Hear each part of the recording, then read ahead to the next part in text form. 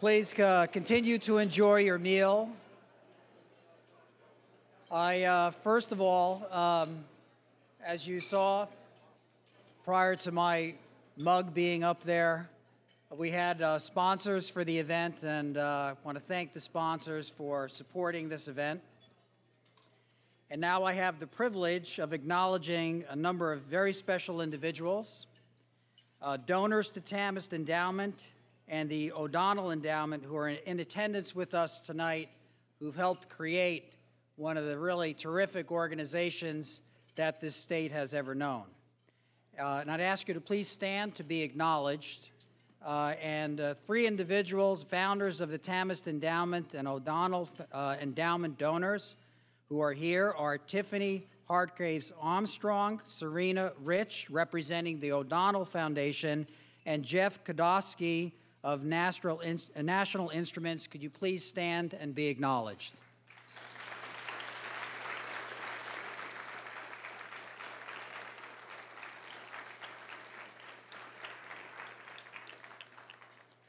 We also have past TAMEST presidents, and I'd ask them to also stand. Tom Caskey, David Daniel, Lynn Draper, and Tinsley Oden. Please stand.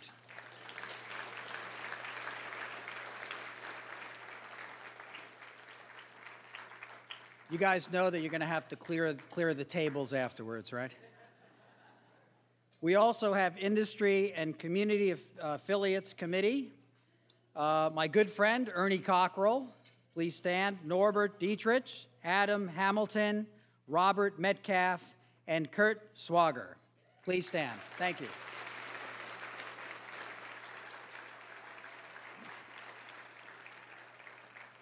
And there is a special place in heaven for this next category the presidents and chancellors. Please stand, my good friends and colleagues David Callender, David Daniel, Brett Giroir, Bill uh, Henrich, Mark Hussey, Ted Mitchell, and Duane Nellis. Please stand.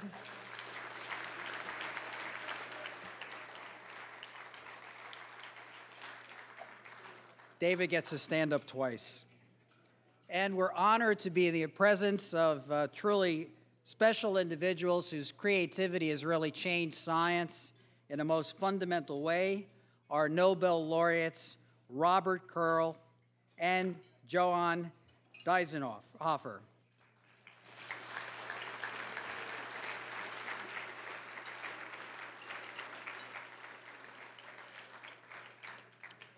And we also have, as you'll see in your booklet, and I won't read out the names, uh, we have past O'Donnell Award recipients in attendance tonight. Uh, would you please stand and be acknowledged?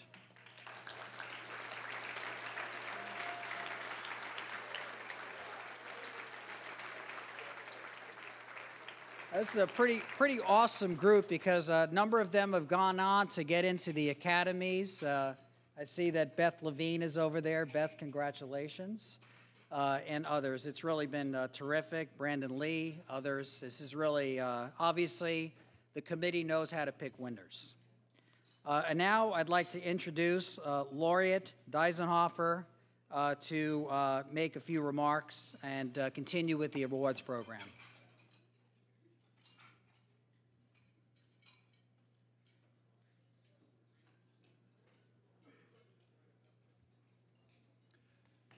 Good evening. Um, I hope you enjoy your dinner. Um, I have uh, gotten the task to um, uh, preside over the, uh, the actual handing over of the awards. Um, I hope you all have uh, listened to the awardees, to their inspiring talks this afternoon. And uh, I would like to say a few words before I start with the awardees uh, about uh, the Edith and Peter O'Donnell. And uh, their names are uh, everywhere uh, in TAMEST, in uh, the research community, in education in Texas. And I think we are uh, incredibly lucky to have people like this, like the two, among us. And they combine uh, brilliant ideas, um, unbelievable generosity, vision, uh, in a way that is totally unique. And I cannot really grasp how this all came about in two people who are uh, so modest as they, as Peter and Edith are. and um, as the name says, they were also instrumental in installing the uh, Edith and Peter O'Donnell Awards. And these awards are, uh, as uh, most of the project that the O'Donnells uh, pursued, they were aimed at the future. So it was uh, made sure that the recipients are relatively young, um, that they uh, have been working in Texas for a while, um, that TAMEST members uh, are excluded from being nominated, which I think is a very wise move, and uh, that, of course, uh, recipients of the O'Donnell Awards uh, are not prevented from becoming TAMEST members uh, afterwards. And so the uh, award is of course, uh, honoring the recipients, it uh, uh, lifts them out of, uh, of uh, a relatively sort of unknown uh, existence of a research of research scientists and and researchers in the industry, and presents them to a broader public. And of course, it also comes with some benefits like a check over $25,000. And so uh, it is uh, my pleasure to um, uh, announce the uh, video that is shown every year traditionally, about 15 minutes video about uh, the work of these, of our four laureates uh, in 2015. So please, uh, can the video be started? Every great discovery begins with an idea, a gut feeling that says maybe, just maybe, we can do things differently. It starts with an infectious passion that inspires future generations and lives on through the never-ending search for answers. Tonight, the Academy of Medicine, Engineering, and Science of Texas honors these four innovative researchers. These are the recipients of the 2015 Edith and Peter O'Donnell Awards.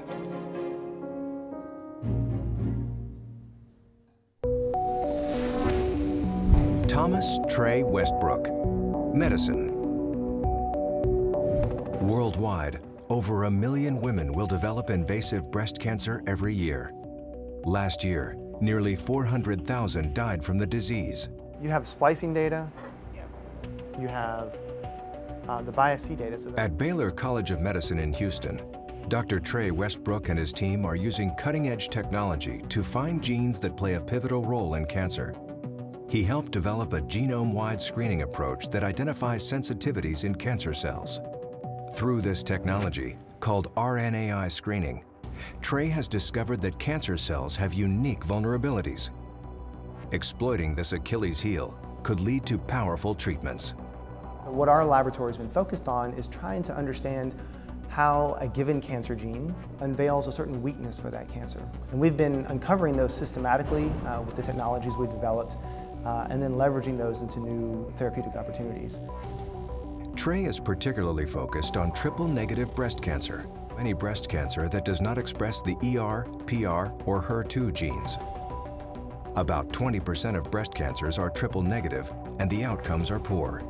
My lab's been focused uh, really for the past seven or eight years now on trying to both understand what are the genes that are the culprits, the drivers of that disease, but also to unveil the weaknesses, the vulnerabilities of those cancers. Triple negative breast cancers are the most difficult to treat. Frankly, that's the area where we have the greatest need for under, understanding basic mechanisms as well as key targets. For Trey, the fight against cancer is personal. During a span of 18 months, while working on his postdoctoral fellowship at Harvard, his brother, mother, and father were each diagnosed with cancer. Trey's dad died less than two years later. I wish I had more time with my dad. I uh, wish I had received more of his mentorship as I got older in life, uh, but I think it set me on a path uh, that I've been um, very passionate about and maybe hopefully early enough to make a difference. When it touches you personally, it moves into really a mission that passes beyond just the professional. And, and I think that that very much adds to, to, to the, the passion with which he pursues his studies. There are encouraging signs of progress. Three of Trey's discoveries have led to therapies in development or in clinical trials. Also, breast cancer may not be the only cancer impacted by Trey's research. Many other cancers, including lung and prostate, could benefit from targeting cancer weak points. My mother is a great reminder that the clock's still ticking for other people. Uh, it gives us a lot of hope, uh, but certainly the, the, the victory is not ours yet, so we're still working on it.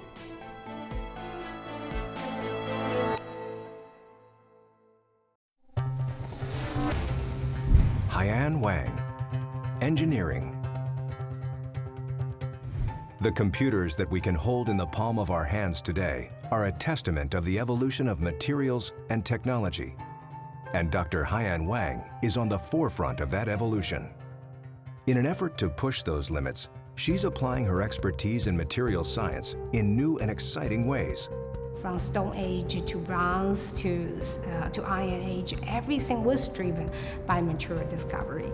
We come into the new century and it will be driven by new material discovery as well. Haiyan and her team at Texas A&M University are using nanotechnology to create more efficient materials and working to prove these materials could one day be used to make smaller, more effective fuel cells.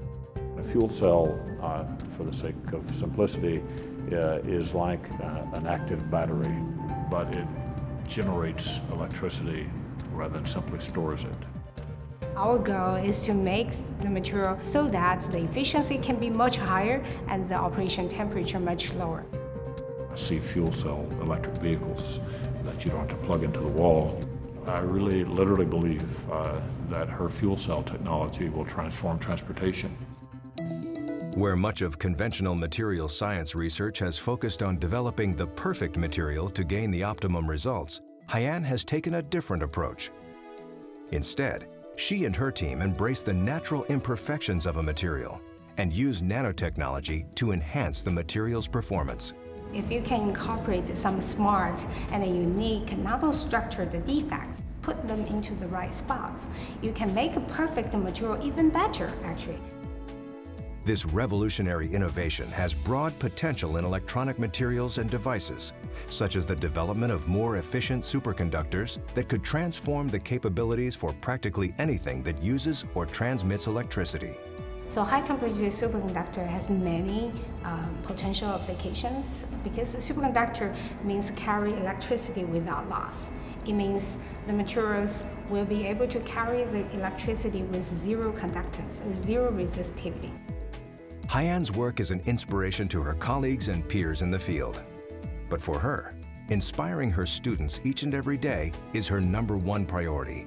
I will continue on my material discovery efforts as well as my inspiration efforts. I will try to keep on inspiring new generations of material scientists to join the workforce, to continue on the material discovery, to make the world a better place to live.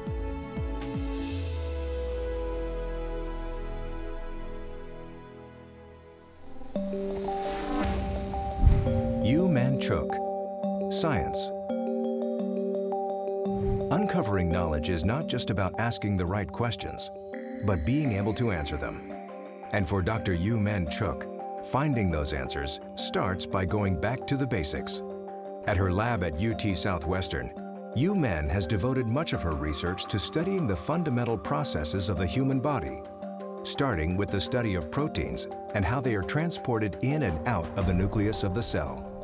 We're working with proteins that are very temperamental, um, very difficult to work with. We have to kind of coax them biochemically to crystallize so that we can make enough to study their functions. When Yuh Min and her team focused on one specific protein transporter, it led to a breakthrough discovery. This protein had this nuclear localization signal, and it just turned out that neurobiologists and neurologists had found that this protein was mutated in the familial form of ALS at that specific site. For patients suffering from ALS or Lou Gehrig's disease, this could mean new and improved treatments thanks to a better understanding of this debilitating illness. If we hadn't done this work, the neuroscientists wouldn't have anything to connect to what the neurologists have found in terms of where the mutations are. So we provided the foundation for them to understand the mutations that they found in the patients. After making this discovery based on the way a protein is imported into the nucleus, Yuh Min and her team decided to focus on an exporter protein that labs all over the world were already fiercely studying. CRM1 is best characterized nuclear exporter. And uh, amongst the cargoes of CRM1 are um, proteins that are called tumor suppressors. In certain cancers, it's been found that the level of CRM1, this export protein, is very high. So inhibiting that process has become very important in, as a potential therapeutic target for slowing or inhibiting cancer growth. Instead of focusing her energy on the medicinal implications of CRM1, Yuh Min and her team decided to go back to the basics and study the 3D structure of CRM1 to determine its basic functions. The discoveries led to the creation of a new and improved tumor-suppressing drug by Yuh Min's pharmaceutical collaborators at Karyopharm. What her work has done is to enable these pharmaceutical companies, and one in particular, to develop a drug that has less side effects, be well tolerated by patients, and have therapeutic benefit. Yuh Min's work has shown a light on the importance of studying the fundamentals and has opened the door to dozens of other discoveries that could be made from focusing on the way proteins are transported in cells throughout the body. We have only studied one importer and one exporter. There are 20 of them in the family. They've got to be important, otherwise they wouldn't be around and they wouldn't have stuck around for that many years. If I'm going to solve a problem, pick a problem, do something in my lab, it's got to be important, it's got to make a difference.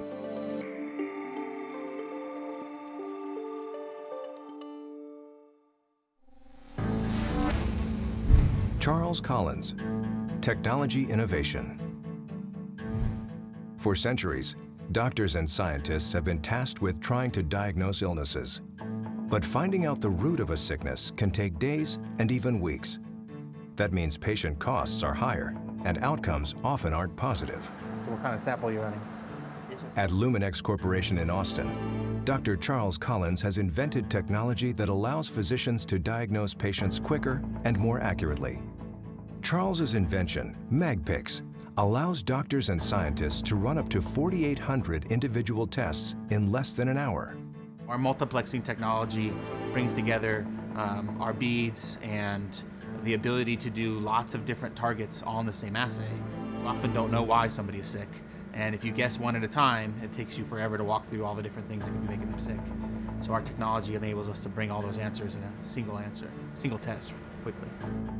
MagPix received FDA clearance and was launched commercially in 2010. A year later, it received the prestigious Medical Design Excellence Award. MagPix is now in diagnostic and research labs throughout the world.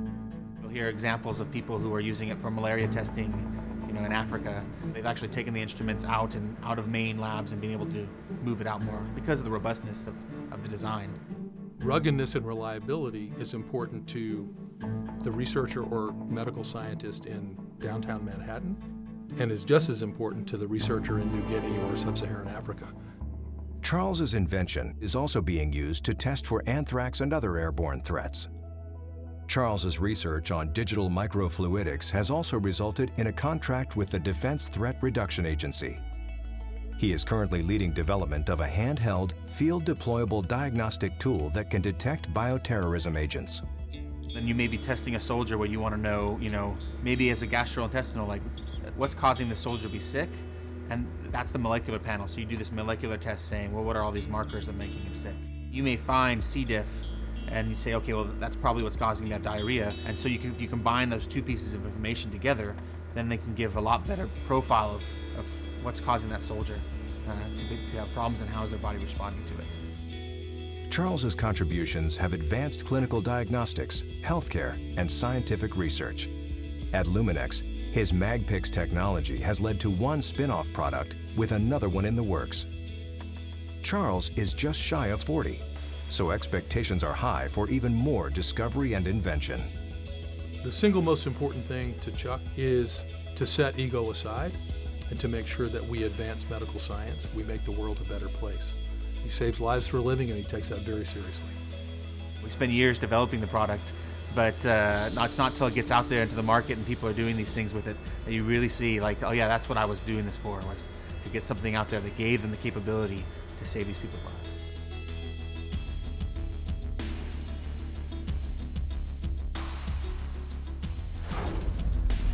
Congratulations to the 2015 recipients of the Edith and Peter O'Donnell Awards.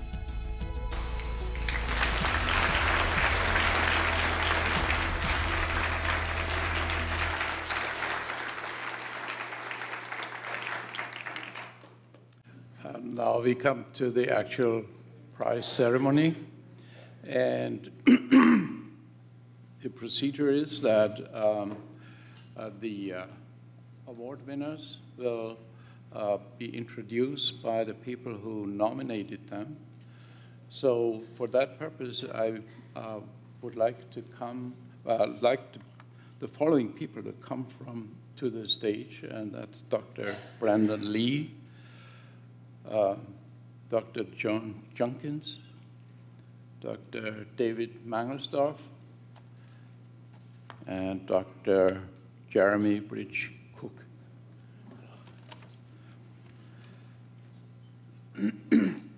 so let's take, take seats. So the, the first uh, the first recipient is um, Thomas Westbrook. Could Thomas Westbrook come up to the stage, please? And he uh, will be introduced by Dr. Lee. Good evening. Uh, it's my great honor to uh, have this opportunity to introduce Dr. Trey Westbrook as the recipient of the 2015 O'Donnell Award in Medicine. Trey is currently the associate professor and the jointly appointed in the Department of Molecular and Human Genetics and Biochemistry and Molecular Biology at Baylor College of Medicine. Trey's life and career has been the product of a series of what I would call seminal binary cell-fate decisions. He was born first in Tupelo, Mississippi, and grew up moving around because of his mom's career. And this first taught him, I think, the important principle of adaptability, an essential life lesson given his lifelong mission of fighting cancer. Now, in fact, along his journey, one such stop was here in Houston.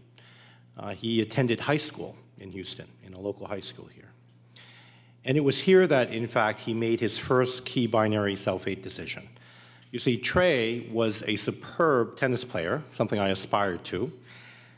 And he was, in fact, offered a scholarship to play Division One tennis at Vanderbilt, perhaps on his way to a professional career in tennis.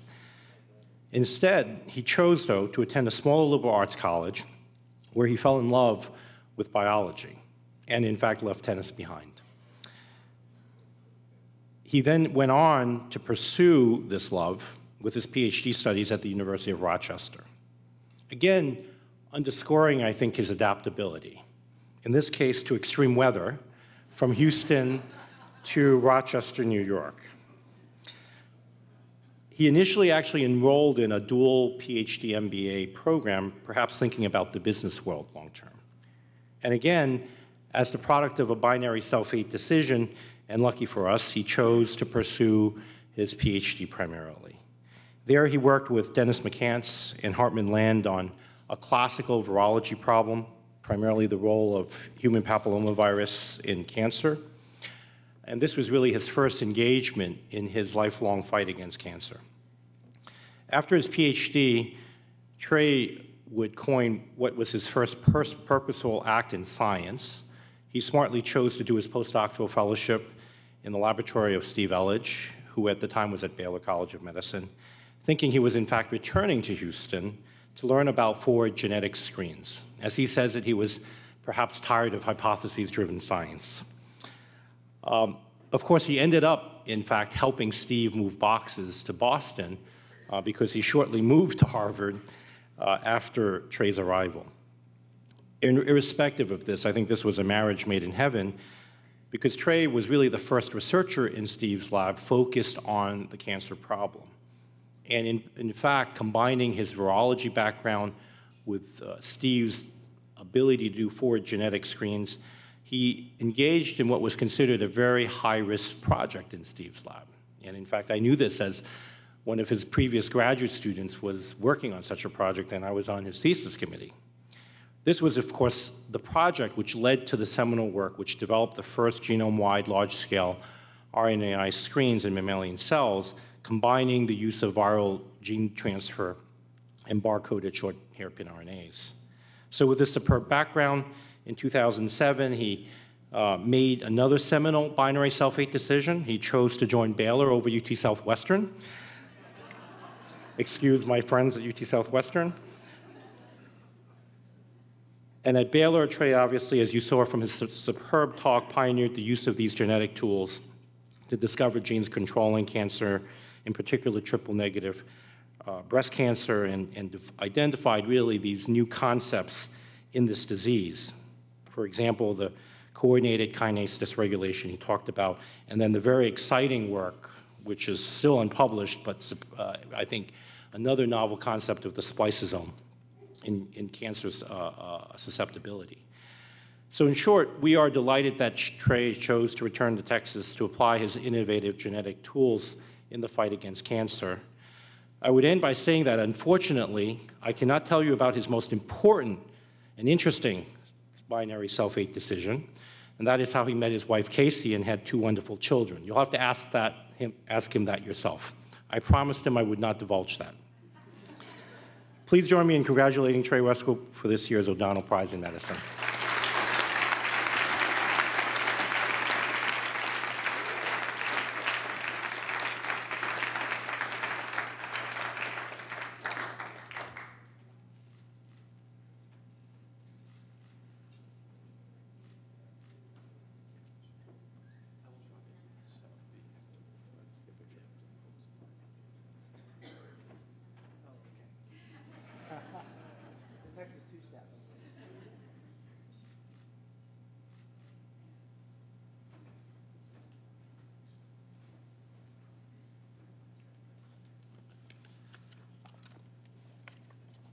Next is the. Uh, I think I just. oh. sorry about that. No, sorry about that.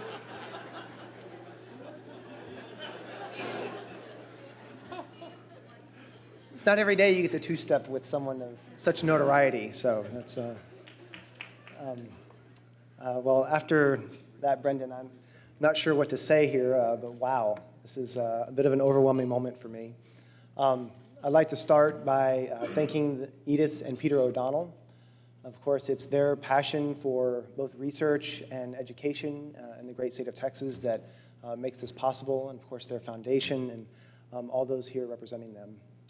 Uh, I'd like to thank, of course, the committee for their hard work. Um, in a state full of such rich science and medicine, uh, I know the decisions are very hard, and so I'm, I'm humbled and, and, very thankful for, uh, for their recognition. Um, oftentimes, these sort of individual recognitions are really more about, uh, or more about those around you. And I can honestly say that uh, being in a place as um, nurturing and as um, sometimes provoking as, as Baylor has been uh, really good for us. Um, so there's a few members, uh, in any good environment, there's always a few members that stand out and that make a special impact on you, and I'd like to uh, mention a few of them. Adam Kuspa and Art Beaudet, I'm not sure if they're still here, uh, but they initially recruited me here uh, to Baylor and um, did everything I think humanly possible to nurture a fledgling new research program into something that uh, hopefully matters. So uh, very thankful to them. Um, I'm also thankful to uh, Brendan uh, and to Ted Wensel, who have now sort of taken their reins as department leadership, uh, and I think are really following a tradition of trying to bring up young people uh, and teach them how to both be innovators, but also to be good mentors themselves. Um, many other senior people at Baylor. Baylor has a long-standing tradition, I think, of the senior people really caring about uh, junior scientists and people uh, who are trying to grow up in the, in the scientific community. Huda Zoghbi, uh, Jeff Rosen, Kent Osborne, uh, members of the Breast Center that you heard me mention. Um, I'm a basic biologist and a geneticist, so uh, trying to do something that really matters in the, in the cancer world. You heard, I think, a, a pervasive theme in all the talks today that it takes team toward team-oriented science. Um, certainly thankful to them. Um, and of course, I need to thank uh, the very rich and innovative people in my lab. Uh, they uh, make it a real joy and a, and a, passion for me to come do science every day. And uh, it's really their work that was on display today and their creativity and their uh, passion. Um, obviously, as you saw from the video, I would like to thank my family for their passion and uh, for their inspiration. Uh, my children, who definitely inspire me uh, daily uh, and remind me that science is, is fun. Um, and uh, finally, um, oh, this is harder than I thought. Um, I'd like to thank my wife, Casey, uh, when you're on this sort of journey, um, she's certainly made almost indescribable sacrifices so that, so that I could be here talking with you tonight. finally, I want to thank you for uh, your participation and your really contributions to the scientific community. And there's so many leaders here, so many uh, thoughtful and forward-thinking people um, that are people I aspire to, to be like. And with that, I, I thank you for your attention and um, thank you again.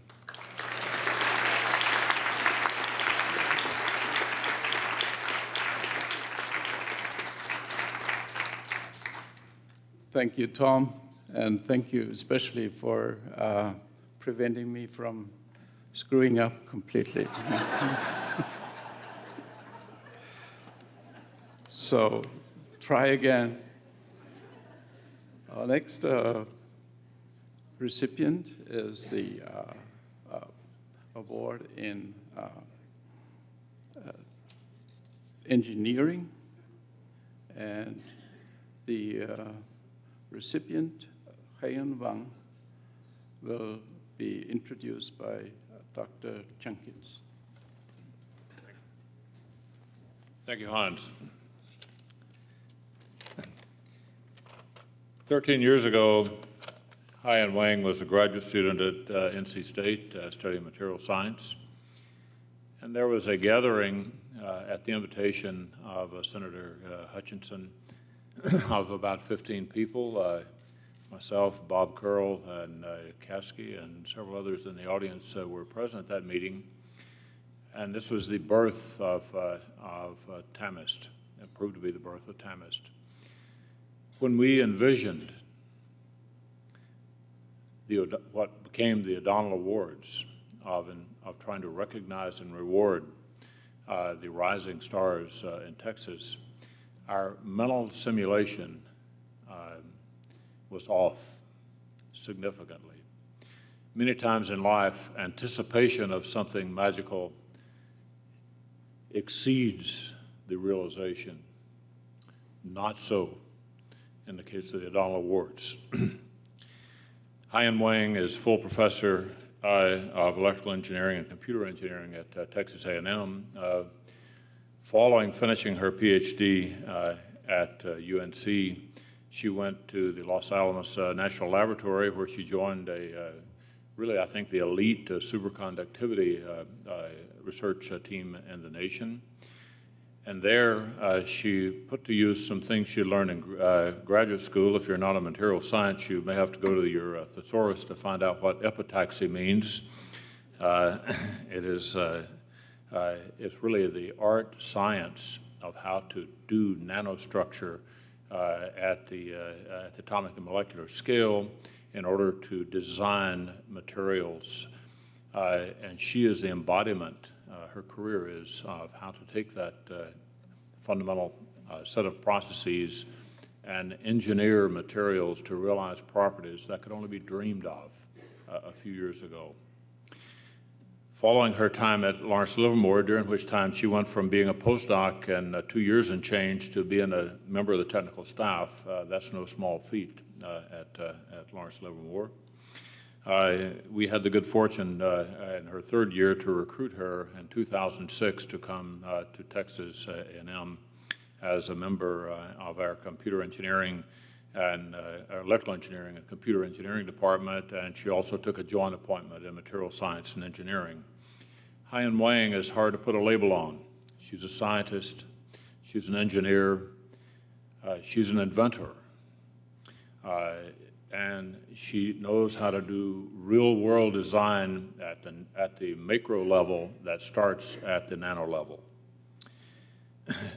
she has tremendous number of transitions uh, toward applications uh, of her technology, including work in fuel cells that if you saw the day's lecture, uh, you saw that she was able to achieve uh, uh, what I would consider a world record, a reduction in the peak temperature uh, of a, of a uh, solid oxide fuel cell uh, while simultaneously getting a 3x improvement in performance. I hope we have some venture capitalists in the room because this is very, very important advance. She's uh, a, an expert in the area of uh, thin films, uh, where she can engineer the ferro, ferromagnetic and ferroelectric properties of materials and, uh, and as I mentioned, she's an expert in, in superconductivity. She's still in her 30s. She has over 300 journal articles and a resume that would choke a horse. She's a fellow of the American Society of Metals International.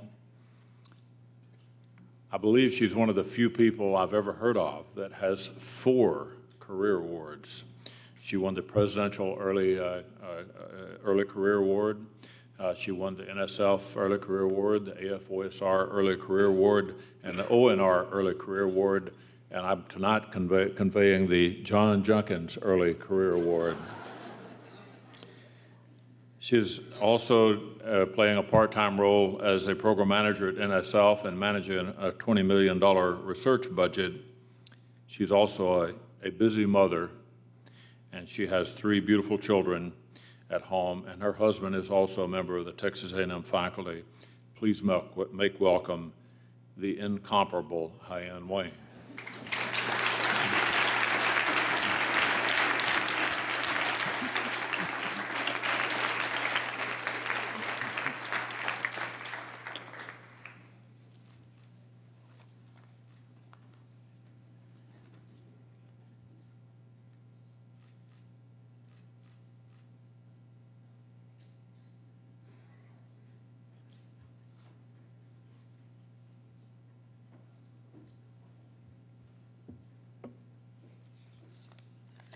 I cannot express how much appreciation I have to all of you. Actually, I do want to say a few words uh, before you let me off the stage. The first thing I want to thank uh, is thanks TAMEST. Thanks TAMEST for giving us this great opportunity to present our work and research in front of the, the best brain, our smartest brain in Texas, and giving us the opportunity to develop us career following all of your past, your successful stories. Second, I want to thank Dr. John Junkin. Uh, how are you? actually, he introduced me to TAMEST and told me about the story about TAMEST and O'Donnell Awards. So actually, it's his persistency, I mean, convinced me I will keep going and to try the O'Donnell Awards for three times. And actually, I, I, very much appreciate his mentorship and encouragement in the past few years. And I also want to thank Texas A&M, who provides the foundation for all of my research since 2006. And many of our deans and even my former department has cost us, and now uh, research dean and many of the research deans and the VPR office, um, they're the greatest supporter to my research and which provide all the facility I need. As you can see, I'm research intensive. A lot of research equipment and facilities are needed. I also want to thank my team members and my former colleagues who we work as a team. It's never being done by one person. It's a team effort, and I very much appreciate all of their help and support. And I also want to thank Texas. Texas, I'm so proud to be part of Texas. I feel very lucky to be part of it. It's a state with enormous potential for development. And uh, I feel very proud to be a faculty in Texas A&M and continue to teach in Texas. The last but not least, I want to thank my husband, Xinghang Zhang, who is also a faculty in the Department of Mechanical Engineering at Texas A&M. And it's him 15 years ago encouraged me to, to come and join him for study abroad uh, in, in the US and started to achieve high uh, way beyond what I have imagined many, many years ago. And with that, I want to thank you all for the great honor and very much appreciate, enjoy your nights. Yeah, thank you.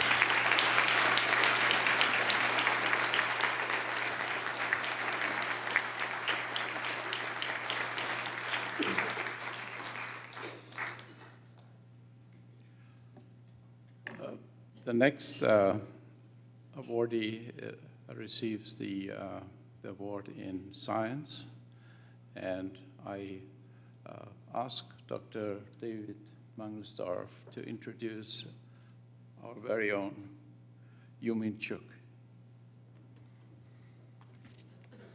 So, in recognizing the impact of our next awardee's accomplishments, I want you to imagine first trying to figure out the design of a traffic system that is so complicated that it accurately transports 1,000 or more pieces of cargo back and forth through a secure barrier without misplacing or damaging any of that cargo or clogging up the doors that that cargo has to enter or exit in order to traverse through that secure barrier.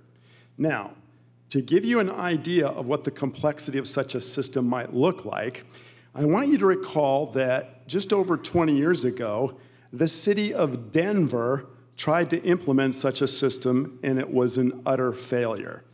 That was the much aligned automated luggage baggage system that was run by over 100 computers and was supposed to transfer 3,500 pieces of luggage a day at the brand new Denver International Airport.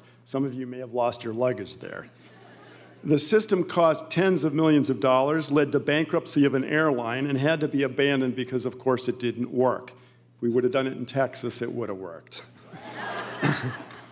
in contrast, the transport system I'm talking about works effortlessly every day, 24 7, in the millions of cells that inhabit your body. It is responsible for the accurate transport of proteins through the membrane barrier of the nucleus by way of a channel, which you heard earlier is called the nuclear pore complex. That complex enables proteins to travel back and forth between the cytoplasm and the nucleus of the cell. And by controlling this traffic, the complex plays a fundamental role in the physiology of every eukaryotic cell. And tonight, we honor the person who figured out the key components of how this complex works. She discovered the signals or codes that many of the proteins use to get in and out of the nucleus. She also discovered the identified the defects in the transport mechanism that lead to those debilitating diseases we heard of, and she used this information to help guide the development of new classes of drugs that may one day be used to fight diseases like cancer, AIDS, and even the common flu. And She did all of that while juggling the demands of raising a family, keeping a famous husband in check as well, including two wonderful boys that are sitting here today. That's pretty noteworthy accomplishment for one of Texas' new scientific rock stars, whom I'd like to introduce tonight as the winner of the 2015 Edith and Peter O'Donnell Award in Science, Dr. Yuh Min Chook.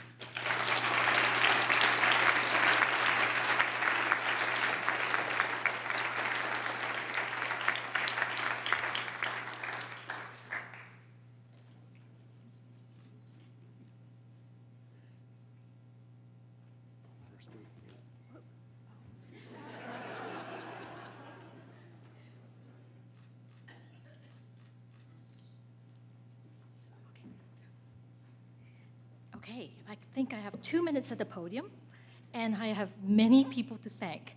So I'll make this as brief as I can. Um, first of all, I would thank, like to thank TAMEST um, for choosing me for um, this uh, award. Um, it was quite un- unexpected, and I am absolutely thrilled. And uh, TAMEST for establishing this award, and Edith and Peter O'Donnell, of course. And then I would like to thank um, my chair and nominee, uh, Davo, um, for his support for all these years, um, for mentoring me, and for bailing me out in some financially tough years. Uh, much appreciated. And also to uh, thanks to both Davo and Al Gilman for recruiting my husband and I from New York City to Texas. That was no easy feat.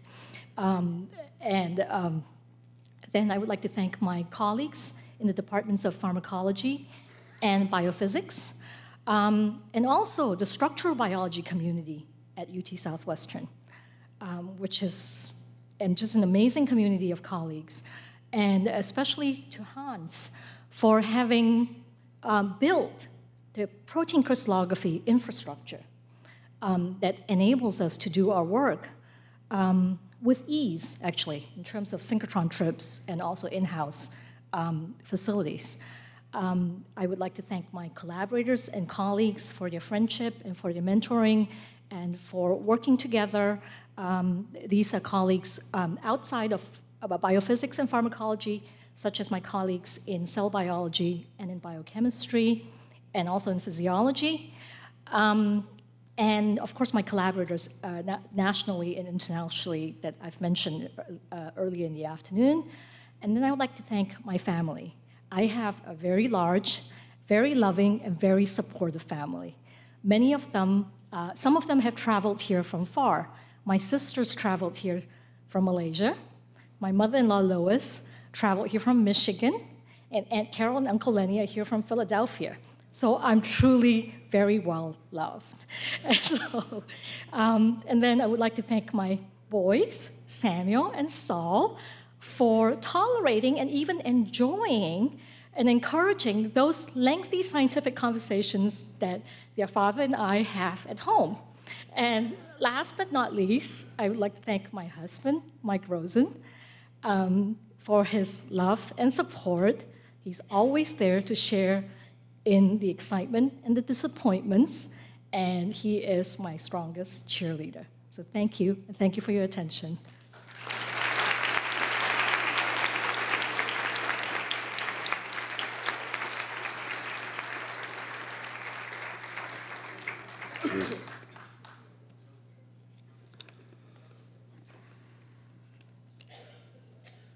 Last but not least, um, the award in uh, technological innovation. Um, Dr. Jeremy Bridge-Cook will introduce Charles Collins.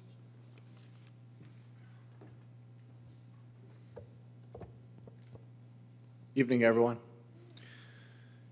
So I'm uh, really very pleased to have the honor to introduce Dr. Chuck Collins as the final award recipient for tonight. Chuck received his BSc from Trinity University and his PhD in solid state electronics from the University of Texas. After his PhD, Chuck joined the U.S. Army Research Laboratory where he obtained three patents for his work on ultraviolet LEDs. Chuck joined Luminex in 2006 as a member of the company's advanced technology group. At Luminex, Chuck quickly distinguished himself as an inventor and a leader in the systems group. The company was trying to find a way to increase the reliability and decrease the cost of our instruments to our customers. with these two guiding principles, Chuck proceeded to invent, along with his team, an entirely new way to analyze our color-coded microspheres, one which did indeed lower costs significantly and improve reliability and ruggedness. Chuck's inventions were ultimately developed by him and his team into an instrument called MagPix. The success of the instrument is demonstrated in part by the fact that Luminex has sold almost 2,000 of them in only a few years since launch. More importantly, hundreds of scientific discoveries have been published with the help of the MagPix instrument, and many thousands of patients have been accurately diagnosed using the MagPix, MagPix instrument that Chuck invented. As you may have heard from Chuck's talk this afternoon, this one remarkable invention has been used to diagnose cholera patients in the epidemic in Haiti, has been used to study malaria in Papua New Guinea, to diagnose E. coli 0157 patients in Germany, and to diagnose Ebola patients in the terrible outbreak still going on today in Western Africa, amongst many other things that it's been used for. It truly is a remarkable technology innovation.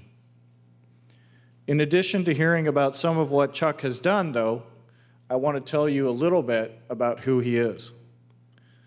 Chuck is an incredibly fast learner with an inquisitive mind that always seeks to understand how and why things work. Chuck is a natural leader who pulls people together and inspires them to work as hard as they possibly can to achieve common goals. Chuck is a dedicated father and husband. And finally, Chuck is a person who I'm very proud to be able to call a friend. So it's my distinct honor to introduce this year's winner of the O'Donnell Award for Technology Innovation, Dr. Chuck Collins.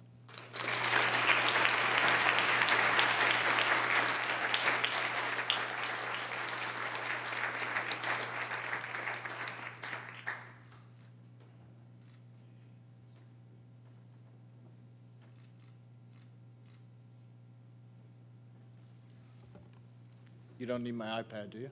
No, it's okay. okay. And I got the standing in the middle correct this time. So. So thank you, Jeremy, for your kind remarks. I really appreciate it. Um, I'd like to start by thanking the TAMEST organization for putting on such a great conference. Um, you know, there's been so many great talks to hear and things that just spur so many ideas about uh, how all this stuff works. So I really appreciate it. Um, I'm honored to be um, awarded this award by the, by the TAMEST organization. Um, I'd like to thank my colleagues at Luminex. Um, there's, you know, the instruments we develop really have, require, you know, dis disciplines across engineering and science.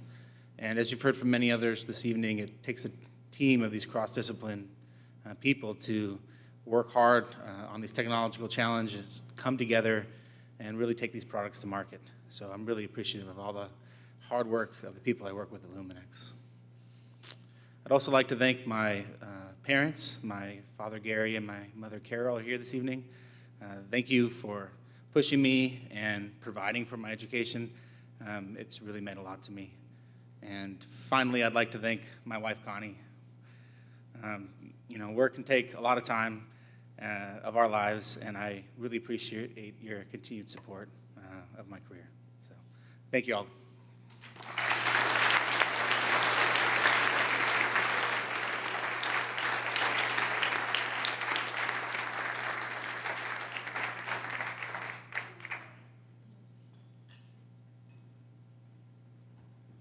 Was pretty terrific. Uh, so the awardees should stick around. We have to do a group photo. Actually, next year, 2016 will mark the uh, 10th anniversary of this uh, coveted award, and uh, please come next year. It'll be a really terrific, terrific celebration.